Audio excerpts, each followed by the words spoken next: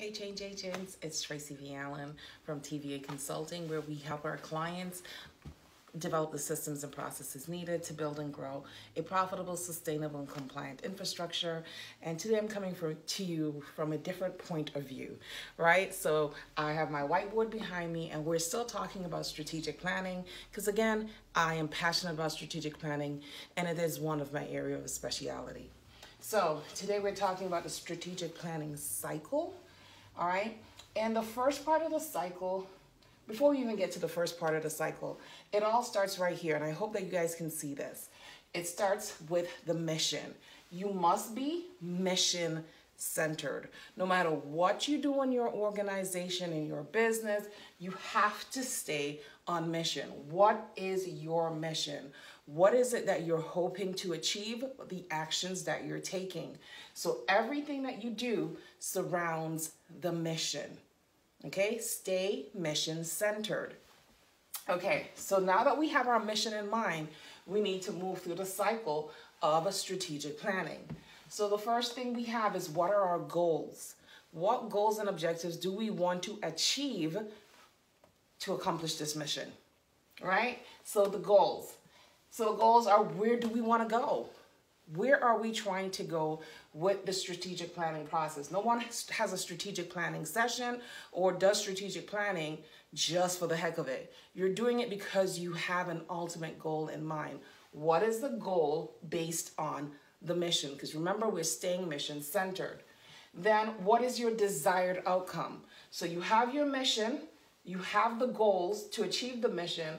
What do you hope to achieve from those actions, your goals and objectives. What is the desired outcome? Okay? How will you get there? All right? What do you need to do to get there? So that's where the strategies come in. That's the steps that you're going to take to achieve your goals and your desired outcome.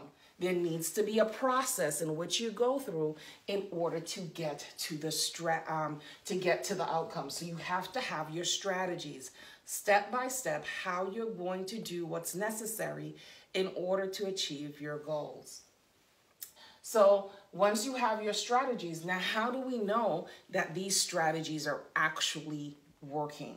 Well, we need to have benchmarks. We need to have some type of evaluative process to determine whether the strategies are bringing us closer to our desired outcome and back to our mission. Okay, so once you start going through these steps in the strategic planning process, you have to be benchmarked to see okay, so if we do X, Y, and Z, are we going to get this desired outcome? If we're not getting that, then we need to go back to the drawing board and tweak the strategies or tweak the desired outcome in order to get to the mission. Okay, so we have our benchmarks. Now, what do you do with these benchmarks? The benchmarks determine whether or not you're getting closer to your results. Okay, so your results and your desired outcomes go hand in hand. Okay, so you have your desired outcome. What results are you getting? Did you make it happen? Okay, so right here, did you make it happen?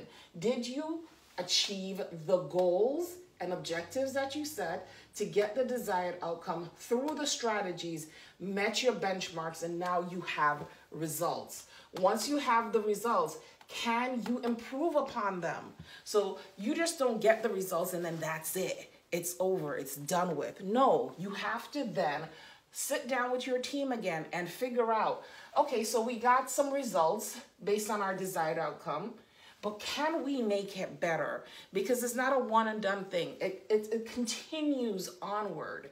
So you got your desired outcomes. You want to see if you can improve on it to get longevity or more longevity in your outcomes um, or in your results and make it just better. There's always room for improvement in anything that you do. So this is the basic strategic cycle. Again, we have to stay mission centered right? And from our mission, we're gonna create goals or and objectives. I didn't put objectives here, right? So that is where you're going.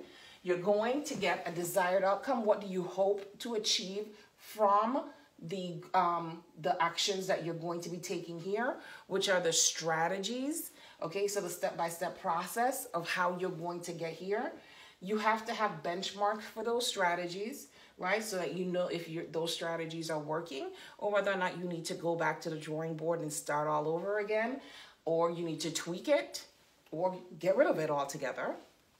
Then you're going to evaluate your results. Did you achieve your desired outcome? And how long, you know, are those desired outcomes holding through or true to what your mission is, right? And then when you once you finish that, you sit down through the evaluative process and you determine if you can improve upon those goals and objectives. Your basic strategic planning cycle, and again, everything that you do must stay mission centered. That is the one number one key. Stay on mission. If you're staying on mission, you're not to really have a problem. If you're getting off mission, then Houston, we've got a problem, right? So thank you for joining me today again, Change Agents, and I will see you tomorrow with another video. Bye.